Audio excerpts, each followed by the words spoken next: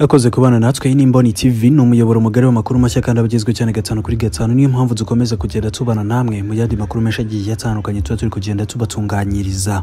Aka kanya nje kukugezaho inkuru y'akababaro nuko manirakiza wakubiswe n'abashinzwe kwishyuza amafaranga y'umutekano arasaba ubutabera. Manirakiza jean claude utuye mu kagari ka karurumani mu murenge wa gatsata yakubiswe n'abishyuza ndetse amafaranga y'umutekano bafatanyije n'abanyerondo bimuviramo ubumuga ndetse ku buryo nta kintu ashobora gukora.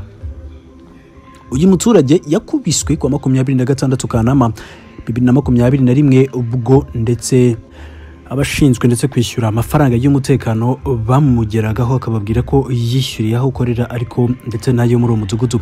Ariko yashaka akazayabaha vuba. Reka tukubwire ko nyuma yo kubona ko ibyo ari kubasobanurira basa n'abatabyumva yashatse gufata telefone ngo ndetse abafata amajwi baza kumubona niko kumufata bamukubita bafatanyije n'abanyerondo.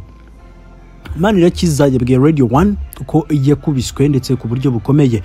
Bikanamuviramo no kuremba ndetse ku buryo ubu ntacyo yimarira. Yagize ati banyatse telefone ndetse ngo barebe ibyo naba ndimo gufata ndetse ubwo baba abatije inkeragutabara umurindi bahita ndetse bankubita ibintu mu mavi ndetse n'ahandi hose. Ubu ngubu amagufwa ndetse yavuye mu mwanya wayo yakomeje asaba inzego zibishinzwe kumuha ubutabera kuko abamuhohoteye batumye ubuzima bwe buba bubi kuko nta kintu akibasha kwikora. Yagize ati ngewe narashatse uburyo nakwibeshaho ntateze amaboko kuri leta dore ko na byo biba ataba ari byiza nyuma y'uko nkubita nta kintu mbasha gukora. Ubu ndetse kubaho no kwivuza ni abavandimwe bangurije. Icyo nifuza babagizemo uruhare bose kugira ngo ntakaze ndetse igihe kingana gutya nuko bafatwa bagashyikirizwa ubutabera bakanishyura ibyo bihombo byose nagize. Ku ruhande rw'umunyamabanga nshingwabikorwa w'akagari ka karuruma kimenyi christine ahakana ko uyu muturage yakubiswe ahubwo ko yigishijwe ngo abone urwitwazo. Yagize ati muri make ntabwo yakubiswe abashinzwe ndetse gukusanya umusanzu w'umutekano bageze iwe nk'uko bagera mu ngo bamubajije umusanzu. Atangira gufotora ndetse bamubaza impamvu ashaka kubarwanya. Batangira gufata telefone ye kugira ngo adakomeza ndetse gukora ibyo bamubujije. Ubwo niba yari abigambiriye yikubita hasi atangira gusakuza ahamagara avuga ko bamukubise. Nta mirwano yahabaye bigaragara ko ndetse yari yabigambiriye. Iki kibazo cyumvikanamo ndetse kuvuguruzanya kuko ndetse ku kagari babihakanye nyamara umunyamabanga nshingwabikorwa w'umurenge wa gatsata munyaneza aimable yemeza ko umuturage yakubiswe kandi n'ababikoze ndetse bamwe bamaze gutabwa muri yombi. Yagize ati bagiye kwishyuza umuturage hanyuma baza kuhahurira n'umusore waberekaga ko yishyuye aza gushyamirana nabo agerageje kubafotora habaho ibintu bimeze nko kurwana ndetse ikigaragara kurwana byabayeho. Ati haba wari ugiye kwishyuzwa no kureba abanyerondo muri uwo mudugudu ubu bari mu nzego z'umutekano ndetse barafunze bari gukurikiranwa. Umunyerondo bivuga ko yakubise uwo muturage we yarahunze aracyari gushakishwa. Ibi bibaye nyuma y'uko minisitiri w'ubutegetsi bw'igihugu gatabazi jean marie vianney aherutse gusaba abayobozi b'inzego z'ibanze kwirinda guhohotera abaturage ahubwo bagashyira imbaraga ndetse mu kubasobanurira ibyo batumva. Hamaze igihe kinini humvikana abaturage bahohoterwa n'abanyerondo n'abandi bafite inshingano mu nzego z'ibanze. Ibikwiriye kwitabwaho abaturage bagahabwa agaciro. Iyi ni imboni tv amakuru mashya menshi agiye atandukanye nta handi wayasanga niyo mpamvu twizera ko mukomeje kugubwa neza nako kandi tubatunganyiriza ibyiza byinshi bigiye bitandukanye muba mukwiriye imana ibarinde mukomeze mugubwe neza. Iyi ngiyi ni imboni tv ari nako kandi dukomeza kugenda mubana natwe no mu bindi bishya bigiye bitandukanye. Hari andi makuru ngufite yihutirwa harimo n'aya ngaya ntagucike ubane na yo. Mu rwanda perezida paul kagame yari yashyizeho abayobozi bakuru muri leta. Impinduka ikomeye n'ishyirwaho rya minisitiri ushinzwe ubumwe bw'abanyarwanda n'inshingano mberagihugu. Jean damascene bizimana wari usanzwe ari umunyamabanga nshingwabikorwa wa komisiyo y'igihugu yo kurwanya jenoside cnlg iyo minisiteri nshya ishyizweho mu gihe kuri uyu wa kabiri hateganijwe ibiganiro ku icukumbura ryimbitse mu bibangamiye ubumwe n'ubwiyunge bw'abanyarwanda. Ibiganiro bitegurwa na komisiyo y'ubumwe n'ubwiyunge i kigali ndi ku murongo wa telefone n'umunyamakuru w'ijwi ry'amerika eric bagira ubusa eric wiriweho. Mwiriho neza venuse nshimiyimana. None izi mpinduka zaraye zibaye muri leta y'u rwanda zari zitezwe? Nibyo twavuga ko izo mpinduka zaraye zibaye zikozwe n'umukuru w'u rwanda paul kagame zari zitezwe uhereye kuri minisiteri y'ubumwe n'ubwiyunge ndetse n'uburere mboneragihugu.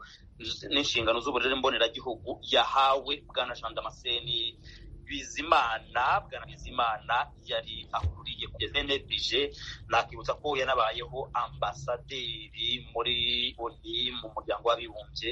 Ni ukuvuga ngo rero ukurikije uko minisiteri y'ubumwe n'ubwiyunge n'uburere mbonezagagihugu yashyizweho ku itariki ya cumi na zirindwi ya cumi n'enye z'ukwezi kwa karindwi byari byitezwe ko igihe cyose perezida wa repubulika yagira icyo akora agomba gushyiraho.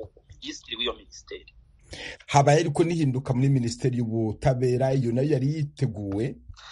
Ibi wenda byo wavuga ko bitari byiteguwe ukurikije uko perezida wenda wa repubulika atungurana bitewe n'impamvu. Nkakubwira ko rero bwana johnston businge wari minisitiri w'ubutabera icyarimwe n'intumwa inkuru ya leta yaramaze imyaka umunani kuri iyi minisiteri ndetse afite n'izo nshingano zo kuvugira. Leta ubu ngubu yagizwe ambasaderi w'u rwanda mu bwongereza kuri izo mpinduka.